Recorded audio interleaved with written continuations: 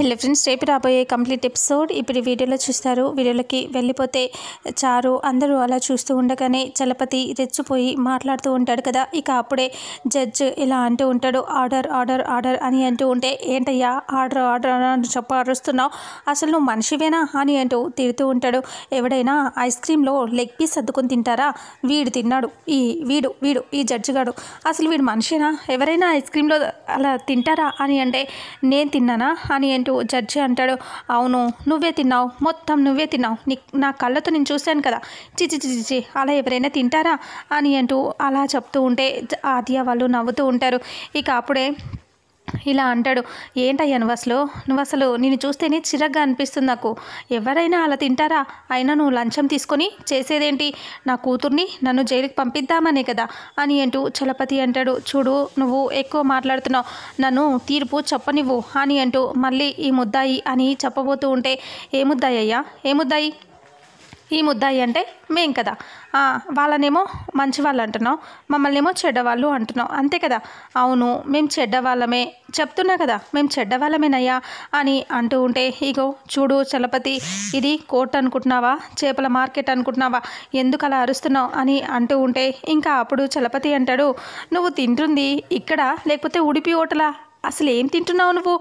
అని ఆ చలపతి మళ్ళీ ఆ తిండి జో జోలికే వచ్చేస్తూ ఇలాగే మాట్లాడుతూ ఉంటాడు. అప్పుడే జడ్జ్ ఇలా అంటాడు చూడండి మీరు ఎక్కువ మాట్లాడుతున్నారు. మీరు సైలెంట్గా ఇవ్వండి. నా డ్యూటీ నన్ను చేసుకొనివ్వండి. నేను తీర్పు చెప్పబోతున్నాను అని అంటూ ఉంటే ఏం చెప్తావయ్యా? తీర్పు ఏం చెప్తావు? ఇప్పుడు నేను నా కూతురు అన్యాయం చేశాం మోసం చేశావు అని చెప్తావు. అంతే కదా? నువ్వు తిన్నది ఎంత తిన్నావు? చాలా డబ్బులు తిన్నావు కదా? అందుకే అలా మాట్లాడతావు అని అంటూ చలపతి అంటాడు. ఇక అప్పుడే లాయర్ వచ్చి ఇలా అంటూ ఉంటాడు. కొంచెం సేపు కూర్చోండి చలపతి గారు అని అంటే లేదు నేను కూర్చోను నేను వినను అని అంటూ రెచ్చిపోయి ఎగురుతూ ఉంటే చారు అంటుంది. నాన్న ఏమైనా మత్తిపోయిందా కూర్చో అని అంటే లేదు నువ్వు ఉండమ్మా నువ్వు ఉండు. వీడు ఏం చేశాడో నీకు తెలుసా? డబ్బులు మొత్తం తిని ఇప్పుడు మనల్ని దోషుల్ని చేసేసాడమ్మా వీడు అని అంటూ ఉంటే గౌరీ నువ్వు కొద్దిసేపు ఉండు అని అంటూ ఉంటే ఎవరి మాట వినకుండా చలపతి రెచ్చిపోయి ఆగకుండా అరుస్తూనే మాట్లాడుతూనే ఉంటాడు. ఇక అప్పుడే ఇలా అంటూ ఉంటాడు. నువ్వు ఇప్పుడు ఏం శిక్ష విధిస్తావు? ఏం చెప్తావు? నాకు తెలియదు అనుకుంటున్నావా? అవునయ్యా మేమే తప్పు చేశాం. నేను నా కూతురే తప్పు చేశాం. ఆ విషయం అందరికీ తెలుసు. కానీ ఇక్కడ దాకా మేము తీసుకొచ్చాం కదా. లాస్ట్కి నువ్వేం చేసావు? మళ్ళీ వాళ్ళ వైపే వెళ్ళావు. ఎలాగో శిక్ష మాకు పడుతుంది అని అంటూ ఉంటే అది కాదు. నేను చెప్పేది వినండి అని జడ్జి అంటే లేదు లేదు లేదు. నీ మాట అస్సలు వినం మేము అని అంటాడు. ఇంకా చూడు నేను ఏం చెప్తాను? మొత్తం నిజాలని నేను చెప్తాను. అసలు తప్పు చేసింది ఈ రఘురామ్ గారి కుటుంబం కాదు. నేను నా కూతురు తప్పు చేశాం. నా కూతురు ఆ సీను మే అదే రఘురామ్ గారి మేనల్లుడు సీను ఉన్నాడు కదా వాణ్ణి ఇష్టపడింది. అందుకే వాణ్ణి దక్కించుకోవటం కోసం నకిలీ బంగారం అవి ఇవి ఇచ్చి వాళ్ళ అమ్మని బుట్టలో వేసుకుంది. వాళ్ళ అమ్మ పడిపోయింది. ఇంకా అందుకే నా కూతురికి సపోర్ట్ చేసింది అని అంటూ చెప్తూ ఉంటాడు. కానీ మేమేం చేశాం? ఆమెకి ఒరిజినల్ బంగారం ఇవ్వలేదు. డూప్లికేట్ బంగారమే ఇచ్చాం అని అంటూ చెప్తూ ఉంటే చారు అలాగే గౌరీ ఇద్దరు తల కొట్టుకుంటూ ఉంటారు. ఇక అప్పుడే ఇలా అంటూ ఉంటాడు. అంతటితో ఆగలేదు. పెళ్ళి దాకా వెళ్ళాం. పెళ్ళి చూసావా చివరికి ఆద్యను ప్రేమించి పెళ్ళి క్యాన్సిల్ చేశాడు. అందుకే మేము ఊరుకున్నామా? మళ్ళీ ఏదో రకంగా తిప్పలు పడి ఆ అద్దెని క్యాన్సిల్ చేసేసి మళ్ళీ నా కూతురుతో పెళ్ళి జరిపించాం. అది కూడా మోసంతోనే పెళ్ళి జరిపించాం అని అంటూ చెప్తాడు. ఇంకా అలా పెళ్ళి ఎలాగో అయిపోయింది. ఇంకా నా కూతురుతో వాడు సంతోషంగా ఉండట్లేదు కదా. అందుకనే ఇంకా ఆద్యని తప్పించడం కోసం ఆద్యని చంపాలని చూసింది నా కూతురు. అలా చంపాలని చూసినప్పుడే ఇంకా వీళ్ళ చలపతికేమో ఈ వీళ్ళ నాన్న కిషోర్ గారు. కిషోర్ గారికేమో బంగారం గురించి తెలిసిపోయింది. అవి డూప్లికేట్ అని అందరికీ చెప్తానని చెప్పాడు. అప్పుడు మేమేం చేసాం కారుతో గుద్ది చంపేయాలని చూసాం అని అంటాడు చలపతి. అప్పుడు నా కూతురికి చెప్పాను చాలా రోజులు కోమాలోనే పడున్నాడు కదా. అలా అలా చంపటానికి చూసాం ఆ విషయాలు అన్నీ తెలిసి ఆద్య ఇంట్లో చెప్దామో అనుకుంది. కానీ చెప్పలేదు. చెప్తుందేమో అని భయపడి మళ్ళీ తనని చంపాలని ప్లాన్ చేశాం. ఇలా చంపాలని ఇలా ఇష్టం వచ్చినట్టు చేస్తూనే పోతూనే ఉన్నాం. మమ్మల్ని ఎవరు అడ్డుకోలే కనుక్కోలేకపోయారు. ఇప్పుడు నువ్వు ఈ లంచం తిని ఇలా అడ్డు వచ్చేసావు అని అంటూ చెప్తూ ఉంటే ఇంకా అప్పుడు చారు నాన్న కాసేపు ఆగు. అంటే లేదమ్మా మొత్తం ఇక్కడ మనకే రివర్స్ అయిపోయింది. ఆగేది లేదు. మొత్తం చెప్తాను నేను. అని చలపతి ఇలా అంటాడు. చూడు ఆ తర్వాత ఈ రఘురామ్ గారి వాళ్ళ కుటుంబానికి ఈ మే నా కూతురు నేను చేసిన మోసం అన్యాయం అన్నీ తెలిసి ఇంకా మమ్మల్ని వదిలిపెట్టరు అని చెప్పి వాళ్ళని ఎలాగోలాగా ఇరికించాలని చెప్పి ఇంకా వాళ్ళ ఇంట్లో బంగారము బట్టలు డబ్బు అన్నీ పెట్టాం. పెట్టి వాళ్ళు కట్నానికి నా కూతుర్ని టార్చర్ పెడుతున్నారని ఇలా బ్లేమ్ చేసి ఆధారాలతో సహా నిరూపించాం. అవన్నీ నేను నా కూతురు కలిసే ప్లాన్ చేశాం అని అంటూ చెప్తూ ఉంటాడు. అలాగే ఈ ఎర్రిబాగుల పద్మ ఇందాక చెప్పింది కదా అది నిజమే. ఎందుకంటే నా కూతుర్ని తీసుకుపోవటానికే వచ్చింది. కానీ అప్పటికే నా కూతురు తగలబెట్టేసుకుంది. కానీ చనిపోవాలని తగలబెట్టుకోలేదు. ప్రికాషన్స్ తీసుకుంది నా కూతురు. ఇంకా కాలిపోకుండా బాడీకి గాయం అవ్వకుండా ఏం చేయాలో తెలుసుకొని మరి మేము అలా ప్లాన్ చేసాం అప్పుడు నా నా భార్య ఉంది కదా గౌరీ. అది నిజంగానే బకెట్లో నీళ్ళు అనుకుని పద్మకి అర్థం అవ్వాలని నీళ్ళు పొయ్యొద్దునా అని చెప్పిస్తే అది నిజంగానే పోసేసింది. తనకి తెలియదు అది కిరోసిన్ అని. అని అంటూ చెప్తూ ఉంటాడు. నా కూతురే తగలబెట్టుకుంది. మేం చేసిన ప్లానే అది. నేనే వీడియో రికార్డ్ చేశాను. అందుకే ఇక్కడ దాకా వచ్చాం. వాళ్ళని అలా ఇరికించాలని చూసాం. అని అంటూ చలపతి చెప్తూ ఉంటే చారు వాళ్ళ అమ్మ ఏ టెన్షన్ పడుతూ ఉంటారు. ఏమైందే? మీ నాన్నకి అన్నీ చెప్పేస్తున్నాడు అనేసి ఇదిగో నా పెళ్ళాం ఉంది కదా ఈ గొర్రెల మందం తీసుకొచ్చింది. వాళ్ళందరూ కూడా నమ్మేశారు అని అంటూ చెప్తూ ఉంటుంది. ఆ రకంగా మేము అన్ని ప్లాన్లు మేమే చేసాం ఆదిని చంపటము వాళ్ళ నాన్నని చంపాలనుకోవటము అన్నీ మేమే చేసాం ఇప్పుడు ఏం చేస్తారో చేయండి. నువ్వేం శిక్ష విధిస్తావయ్యా? నువ్వు ఒక జడ్జివా నువ్వు? అని అంటూ తిడుతూ ఉంటాడు. చూడు చలపతి అంటే ఇప్పుడు నువ్వు చెప్ చెప్పినవన్నీ నిజాలా? అని అంటూ అడిగితే ఏం తెలియనట్టు అబద్ధాలా అన్నట్టు అలా అడుగుతావేంటి? నీకు తెలియదా నీకు తెలుసు కదా అన్నీ నిజాలే. నీకు ముందే చెప్పారు కదా వాళ్ళంతా అని అంటూ చెప్పేసరికి ఎవరు చెప్పారు? నువ్వు అసలు ఏం మాట్లాడుతున్నావు? అంటే ఇంతసేపు చెప్పినవి నువ్వు నీ కూతురు చేసినవే కదా అని అంటే అవును నేను నా కూతురు ఇవన్నీ చేశాం. ప్రత్యక్ష సాక్షిని నేనే చేసినవని చెప్తున్నా కదా నమ్మవా నువ్వు? అని అంటాడు చలపతి. అలా అనేసరికి ఇక ఒక్కసారిగా అందరూ అలా చూస్తూ ఉంటారు. ఇక చారు అలాగే వాళ్ళమ్మ ఇద్దరు కోపంగా చూస్తూ ఉంటారు. ఇక చలపతి ఇలా అంటాడు ఇప్పుడు విధిస్తావా? విధించు.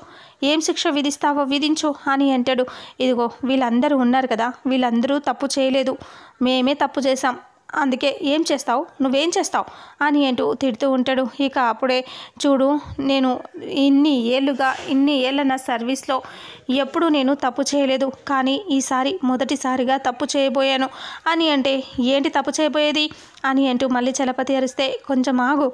ఇంకా నేను నిజంగా ఒక మంచి వ్యక్తికి శిక్ష విధించబోయేవాడిని నేను కొద్ది రోజుల్లో రిటైర్ అయిపోతున్నాను. అంటే ఇన్ని రోజుల్లో నేను ఎప్పుడూ కూడా ఆ అన్యాయానికి శిక్షని న్యాయానికి శిక్షని విధించలేదు. అన్యాయం చేసిన వాళ్ళని త్రోషులను మాత్రమే నేను శిక్షించాను. ఇక్కడ ఫస్ట్ టైం రిటైర్మెంట్ అయ్యే ముందు ఫస్ట్ టైం నాకు మంచి జరిగింది. ఇంకా ఒక మంచి వ్యక్తిని జైలుకి పంపించి నేను పాపం కట్టుకున్నవాడిని అయ్యేవాడిని కానీ నీ వల్ల అది నాకు నిజం తెలిసింది అని అంటే ఆహాహా ఏం నాటకాలు వేస్తున్నావయ్యా? నీకు తెలియకుండానే ఉందా ఇదంతా? నీకు తెలుసు కదా అని అంటూ చలపతి అరుస్తూ ఉంటాడు. ఇక అప్పుడే ఇలా అంటాడు చూడు ఇన్ని రో ఇన్ని పాయింట్స్ అన్నీ నువ్వు చెప్పావు కదా అని అంటూ నిజాలే కదా అంటే అవును నిజాలే అన్నీ నిజాలే అని నేను ఒప్పుకుంటున్నా అనేసి చలపతి చెప్తాడు. అలా చెప్పేసరికి ఇక ఒక్కసారిగా ఆలోచిస్తూ ఇంకా జడ్జి ఇలా అంటాడు నువ్వే ఒప్పుకున్నావు ఈయనని కస్టడీలోకి తీసుకోండి అని పోలీసులకి చెప్తాడు జడ్జ్. చెప్పేసరికి ఏంటి నన్ను కస్టడీలోకి తీసుకునేది? చూడు నేనేం చేస్తాను అని గన్ను తీసుకొని ఇంకా జడ్జి మీదకి షూట్ చేస్తూ ఉంటాడు. ఆయన కొంచెం తప్పించు తప్పించుకుంటాడు. ఇక అప్పుడే అందరూ భయపడిపోతారు. ఎక్కడ పడితే అక్కడ షూట్ చేసేస్తూ ఉంటాడు చలపతి. అప్పుడే అక్కడ ఉన్న వాళ్ళు పోలీసులు పట్టుకొని గన్ లాగేసుకుంటారు. ఇక అప్పుడు అందరూ అలా చూస్తూ ఉంటారు. ఇక ఏమైంది? ఆ పిచ్చేమైనా పట్టిందా అని గౌరీ టెన్షన్గా చూస్తూ ఉంటుంది. అందరూ ఇంట్లో వాళ్ళందరూ కూడా అలాగే చూస్తూ కంగారు పడుతూ ఉంటారు. ఇక అక్కడ ఉన్న వాళ్ళందరూ కూడా గన్తో షూట్ చేసినందుకు భయపడుతూ చూస్తూ ఉంటారు. ఇక అప్పుడే జడ్జి ఇలా అంటాడు. చూడు ఇన్ని రోజులుగా నేను ఏమో అనుకున్నాను. కానీ నీలాంటి వాడిని నా సర్వీస్లో ఫస్ట్ టైం చూస్తున్నాను అని అంటూ చెప్తూ ఉంటాడు. సరే ఏది ఏమైనా అని అంటూ ఇంకా ఒక్కొక్క పాయింట్స్ చెప్తాడు. నీ కూతురు ఇలా మోసం చేసి పెళ్ళి చేసుకుంది తర్వాత కిషోర్ని చంపాలనుకుంది తర్వాత ఆద్యం చంపాలనుకుంది ఆ తర్వాత ఇప్పుడు నిప్పంటించుకుని పద్మ మీద వేయటం వాళ్ళ మీద ఇలా కేసులు పెట్టడం ఇవన్నీ నీ తప్పులే కదా అంటే అవును అంటే ఇంకా చివరిగా ఆరో పాయింట్ చెప్తాడు ఇక ఇప్పుడు నువ్వు నన్ను గన్తో షూట్ చేసావు అని అంటే అవును షూట్ చేసావు దొరికితే చంపేస్తా నేను అని చలపతి అంటాడు. ఇక అలాగా మీకు ఇవన్నీ శిక్షలు పడితే జీవితాంతం నిన్ను జైల్లోనే ఉండేలా చేయొచ్చు కానీ నువ్వు నాకు ఒక మంచి హెల్ప్ చేసావు అదేంటో తెలుసా? రఘురామ్ గారి గురించి ఇంకా బయట నేను జైలుకి పంపించకుండా చేసి నన్ను కాపాడావు. నేను కూడా పాపం చేయకుండా నన్ను కాపాడావు. అందుకే అందుకే నీకు ఈ శిక్ష అన్ని రోజులు విధించట్లేదు. నీకు పద్నాలుగు సంవత్సరాల జైలు శిక్ష నీ కూతురికి ఏడు సంవత్సరాల జైలు శిక్ష మీకు ఇద్దరికి జైలు శిక్ష విధిస్తున్నాను అని అంటే తీసుకోపోండి తీసుకోపోండి అని చలపతి అరుస్తూ ఉంటాడు. ఇక అప్పుడే ఇంకా జడ్జి లేచి ఇంకా ఇలా అంటాడు. రఘురామ్ గారు నన్ను క్షమించండి. నాకు తెలియకుండా మిమ్మల్ని తప్పుగా ఆలోచించాను. నన్ను క్షమించండి అని అంటూ ఉంటే ఇంకా అప్పుడే రఘురామ్ రఘురామ్ వాళ్ళందరూ కూడా బయటికి వచ్చేస్తారు. ఇక చలపతిని చారుని తీసుకొని వెళ్తూ ఉంటే చారు శ్రీనుని సీరియస్గా చూస్తూ ఉంటుంది. శ్రీను నవ్వుతూ చారు వైపు చూస్తూ ఉంటాడు. ఆ రకంగా చారు జైలుకి వెళ్ళిపోతుంది.